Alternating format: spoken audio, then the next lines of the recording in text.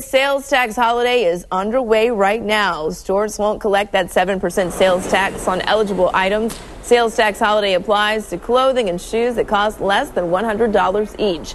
We're talking about jewelry, watches, sports equipment, computers, and school supplies. Well, they are not included. I've save, been saving my money all year long for this uh, shopping day. Are you gonna get anything for yourself this weekend? No, it all I'm about not.